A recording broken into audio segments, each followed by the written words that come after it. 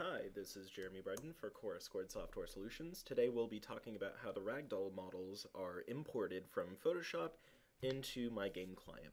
So ragdolls are just the uh, two-dimensional bipedal, so human-like objects that are created in my game, where if you go ahead and click your left mouse button, uh, a couple of little dudes are created. You could zoom in, you could see that they've got two legs, two arms.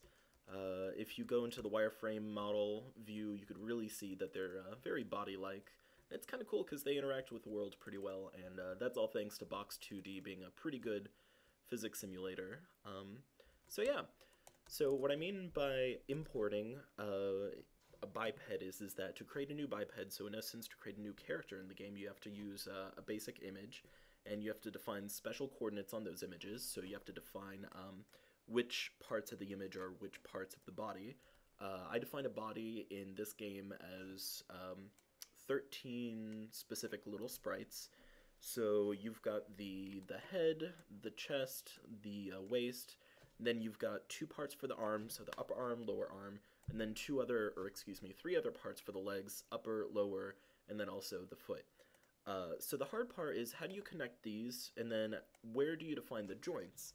Uh, because not only do each body parts um, have joints, but each joint also has uh, certain degrees of freedom. So, for example, um, the arms can't necessarily go 360 degrees in all angles in a two-dimensional uh, world. They can only rotate about mm, about 180 degrees. So what I do in my application is, is that we take some very simple coordinates. We take um, 13 coordinates which define the origins of the bodies. So by this, I don't mean at all origins in terms of where the image starts or where uh, the joints should start. All it means is these 13 coordinates just define some pixel within the uh, biped chunks. So there's 13 of these, one for each of the chunks, and in my algorithm we go ahead and uh, seek out the entire size of the chunk for each of these 13 chunks. So we'll take a, or an originating pixel, so we'll just say the center, excuse me, the center of the chest, and we'll do a flood fill algorithm on the alpha channel, meaning we only look at pixels that aren't invisible.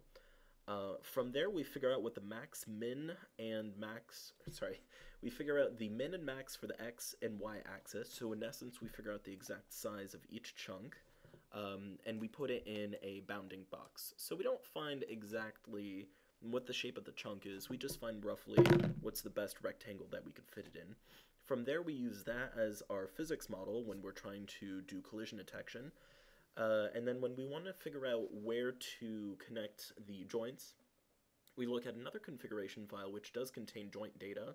If there's any joints that aren't defined, so for each joint we have to define um, the parent, so which chunk are we supposed to connect to. Uh, and then also we have to define the rotation, so we know to connect the arm to the chest, but where do we actually rotate the arm on the chest? Um, so we define those two coordinates, and uh, within the same configuration file, we define the limitations of these joints. And it's actually a very simple configuration file. All it is is just uh, a series of key data strings, meaning you've got a key, so L underscore forearm uh, suggests that we're going to define forearm positions, and then the data is just a series of integers here. Um, in terms of optimization, what will happen is, is that if we don't define a point, it'll go ahead and assume that it's, depending on the context, it'll go ahead and assume that it's either on the center x-axis, either on the very top or on the bottom, depending on if we're trying to attach it to a parent or if we're trying to rotate it. Uh, and then we also make some other assumptions that um, each chunk is roughly rectangular. So I mentioned earlier that rectangles aren't necessarily the best example of a shape that we could use for collision detection. I'll show that in a minute. Um, but for now, it's the best we could do. In the future, we could try and optimize it. So as an example, I'm going to make a really quick top hat for uh, this little dude. Uh, I'm not an artist by any means. Uh, if you ask any of my friends, I'm actually horribly terrible at drawing. um, you'll see that in a second. So right now I made a little top hat for the character. It's not even in scale. We'll go ahead and save the image. We're not going to change any configuration files. In terms of collision models, uh, we pick up all of that uh, within the system through my little flood fill algorithm. We'll go ahead and create a couple of new characters.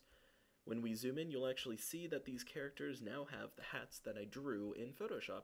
And when you zoom in, you'll see that there's a new bounding box. So not only are the things drawn uh, to the latest model, but also um, the collision models have been updated.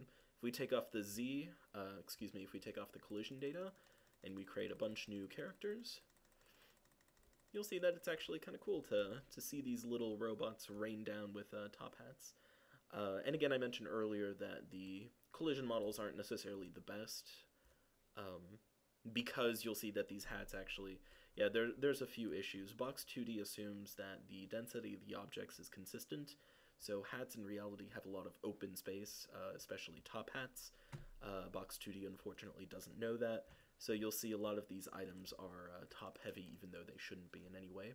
Um, but it's still really cool to see these things working. Um, I'm not a great programmer by any stretch of the means. Uh, I'm just really, really happy that I'm able to see this actually working so well with Photoshop and Blender and these other third-party tools that I've been trying to integrate with the project.